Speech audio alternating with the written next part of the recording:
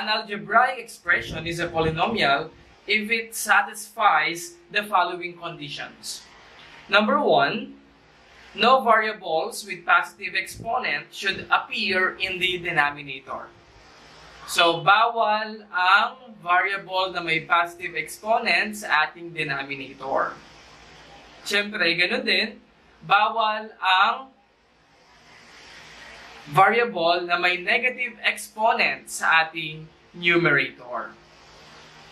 Second condition, variables not appear under radical sign. So, bawal tayo ng variable na nasa loob ng radical sign natin. And third, variable should not have a fractional exponent. O, dapat wala ding fractional exponent sa ating variable. So, so yan yung conditions natin bago natin tawaging uh, polynomial function, yung isang algebraic expression. Okay, para mas maintindihan pa natin ang polynomial function, I have exercises here on the board. Determine which of the following is a polynomial function.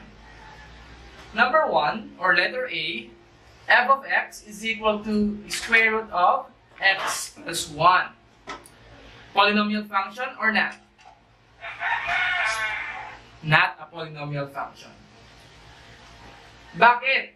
Kasi sa condition natin, bawal ang variable na nasa loob ng square root. Tama? So, hindi siya pasok sa condition natin. So, hindi siya polynomial function. Number 2, f of x is equal to 7x raised to 5 minus 9x cubed plus 5x minus 8. Polynomial function or not? Polynomial function. Oo, wala tayong restriction na pasok para dito. Or wala siyang nilabag na restriction natin. Yan. Walang negative na exponent sa variable. Walang variable na nasa loob ng square root. Wala din fractional exponent na ang ating variable. So, polynomial siya. Next, f of x is equal to x cubed minus 1 over 7. Polynomial function or not? The answer is polynomial function.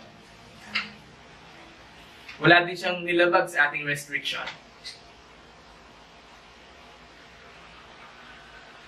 Next, letter D. f of x is equal to x raised to negative 4 plus 8x cubed minus x squared plus 2x plus 8. Polynomial function or not? This is not a polynomial function. Bakit? Kasi yung variable natin ay may negative exponent. Yan. Next. Letter E. f of x is equal to 4x cubed plus 3x squared plus 4x minus 12. Polynomial function or not? Good. Polynomial function. Kasi, pasok lahat siya dun sa ating condition para maging polynomial function siya. So, ganyan ang pag-check ng ating polynomial function siya. O, recall natin, bawal ang negative exponent sa ating variable kapag nasa numerator siya. Ganun din, bawal ang positive exponent sa ating denominator ng ating variable.